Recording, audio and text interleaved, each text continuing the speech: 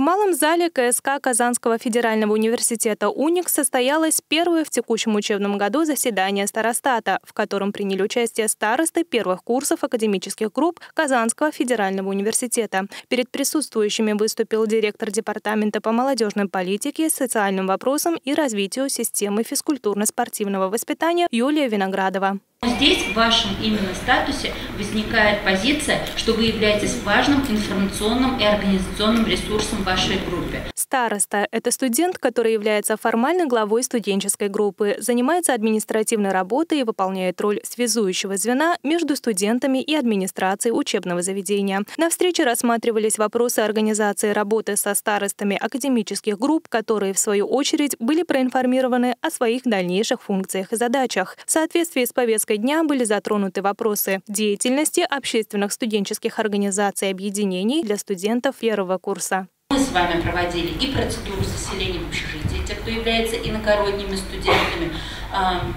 и те, кто проживает в общежитии. Потом, соответственно, сотрудники Департамента молодежной политики в рамках встреч в институтах знакомили вас с позициями, которые э, считаются социальной направленности, и рассказывали о тех возможностях, которые есть. Ходе встречи были освещены и другие важные аспекты образовательного характера. Старосты были ознакомлены с адресами официальных страниц студобъединения университета в социальных сетях для получения актуальной информации из жизни университета. Амир Ахтямов, Зарина Джахалилова, Фарид Захитаглы, Универньюз.